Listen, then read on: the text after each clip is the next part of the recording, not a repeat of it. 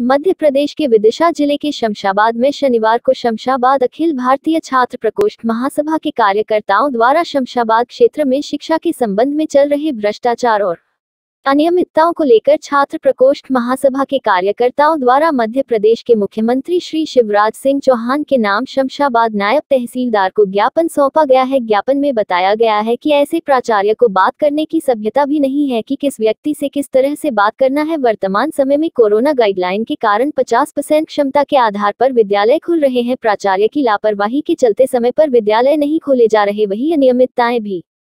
देखने को मिल रही है ऐसे प्राचार्य को तत्काल प्रभाव से नहीं हटाया गया तो छात्र प्रकोष्ठ महासभा संपूर्ण मध्य प्रदेश में उग्र आंदोलन कर विरोध प्रदर्शन करेगी। अखिल भारतीय छात्र प्रकोष्ठ महासभा के राष्ट्रीय संयोजक राजकुमार विश्वकर्मा द्वारा ग्राम बरखेड़ा जागीर के शासकीय उच्चतर माध्यमिक विद्यालय का निरीक्षण किया गया एवं विद्यार्थियों की समस्याएँ देखी गई तो विद्यालय में बहुत ही गंदगी देखने को मिली। निरीक्षण के दौरान स्कूल खुलने के समय में लापरवाही बरतने की शिकायतें मिली हैं।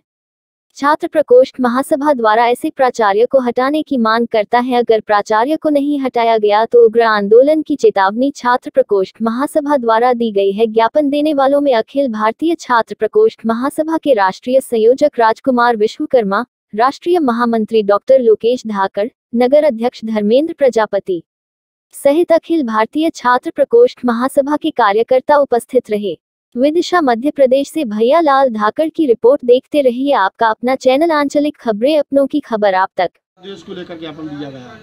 आज मध्य प्रदेश के सचिव मुख्यमंत्री शिवराज सिंह चौहान जी के नाम आज शमशाबाद तहसीलदार महोदय को ज्ञापन सौंपा गया है जिसमें शमशाबाद क्षेत्र में विद्यार्थियों के साथ दो प्राचार्यों का अभद्र व्यवहार चल रहा है।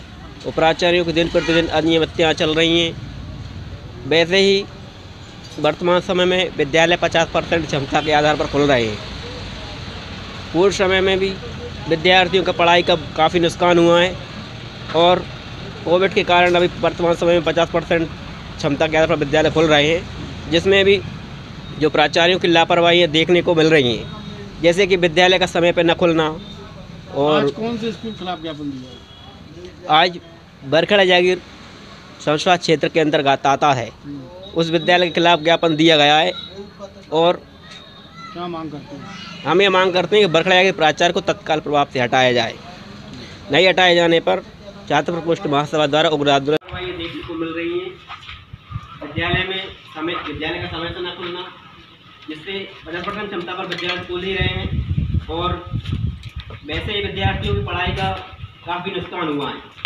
और नुकसान होता चला जा रहा है समय से न खुलना ये विद्यार्थियों, ऐसे प्राचार्यों को तत्काल प्रभाव से हटाया जाए, हटाने की मांग करता है छात्र प्रकोष्ठ। और ऐसे प्राचार्यों को अगर नहीं हटाया जाता तो संपूर्ण मध्य प्रदेश में अखिल भारतीय छात्र प्रकोष्ठ महासभा विरोध कर आंदोलन करेगी।